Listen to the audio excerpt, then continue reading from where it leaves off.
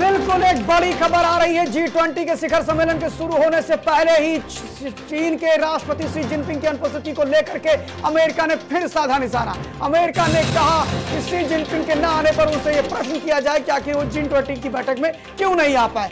क्योंकि Xi Jinping ने कोई ऐसा वैलिड या कोई आधिकारिक रूप से कोई ऐसा विषय नहीं बताया कि वो क्यों नहीं आ रहे हैं। क्योंकि शी जिनपिंग ने अपने ली कियांग को भेजा है, अपने प्रधानमंत्री को, और वो रिप्रेजेंट कर रहे हैं जी की बैठक में। अमेरिका का मानना है कि जी ट्वेंटी के बैठक में वो ना आकर के वो बार बार गलतियाँ कर रहे हैं, और अमेरिका कह रहा है कि उनके ना आने से कोई फ़र्क नहीं पड़ रहा है। जी के अन्य सदस्य देश मिलकर के भारत के इस कार्यक्रम को सफल बनाएँगे।